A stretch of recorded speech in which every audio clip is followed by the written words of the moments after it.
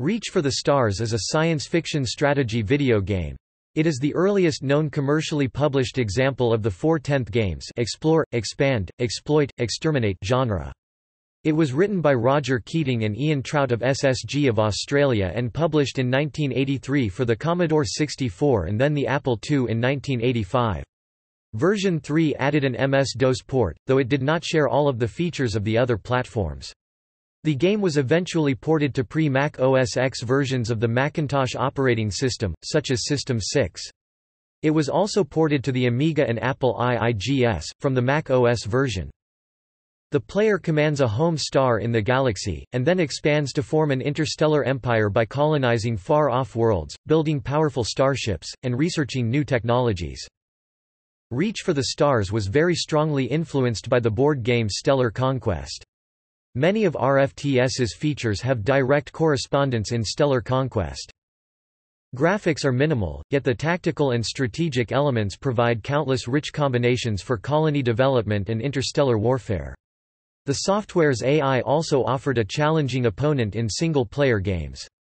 It is not uncommon for a Reach for the Stars game to take over 12 hours to complete in single-player mode and 24 hours with multiple players.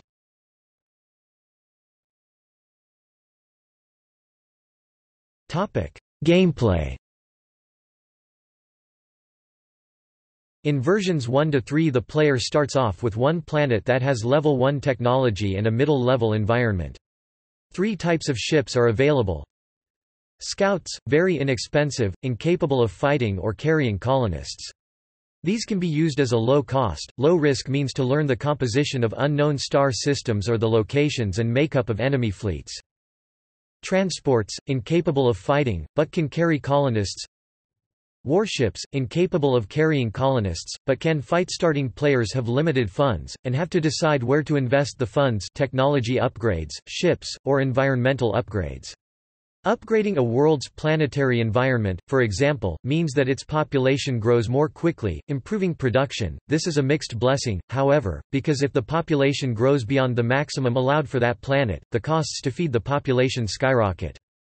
Building a lot of ships early can win a player the game, if the player finds his enemy's home planets before they manage to upgrade their military technology. On the other hand, it can lead to a loss if the player's opponents upgrade first and attack with superior ships. Each turn is divided into two sections, a development phase, and a movement phase. In the development phase, players work on planetary production, deciding what each planet will produce that turn. In the movement phase, players have the option to send ships to other star systems to explore, colonize, or conquer. Because the game evolves along so many different axes of possibility, the game offers tremendous replay value. It is quite possible to save a game on the first turn, and have it play out differently each time it is restored. A bug causes human players that do nothing to become wealthy while computer opponents fight each other. The designers added a feature that causes the computer opponents to attack the human at 20,000 credits. Topic reception Computer Gaming World in 1983 found Reach for the Stars quite user-friendly and enjoyable, with the single flaw of a lack of notification of natural disasters, which could not fit onto the disk space available. The computer AI and customization of each game were particular highlights of the review. In a 1992 survey of science fiction games the magazine gave the title 5 of 5 stars, praising it as arguably the best science fiction game ever released, a product still worth playing. A 1994 survey of strategic space games set in the year 2000 and later gave the game 4 stars out of 5, stating that a worthy update would no doubt raise this game again to 5-star status. Compute, in 1986 called the game a particularly fine simulation of galactic exploration, combat, and conquest, noting that players needed to balance several different priorities to succeed. It concluded that Reach for the Stars was one of the better games on the market this year. Insider in 1986 gave the Apple II version 3 stars above average out of 4, stating that while the game was exciting, it's unromantic to say that much of the rest of the game is a matter of juggling numbers, but that's the truth. Jerry Pournelle of Byte stated in 1989 that the Mac version of Reach for the Stars was certainly the best implemented version of Stellar Conquest. The game was reviewed in 1994 in Dragon number 211 by J and D in the Eye of the Monitor column. J did not rate the game, but D gave the game 3.5 out of 5 stars. In 1996, Computer Gaming World declared Reach for the Stars the 51st best computer game ever released.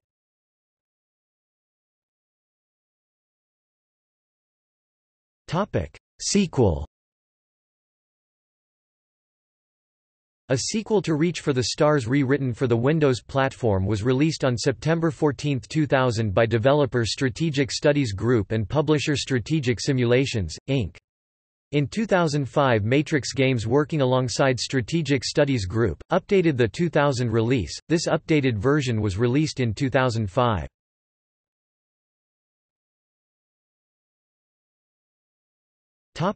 See also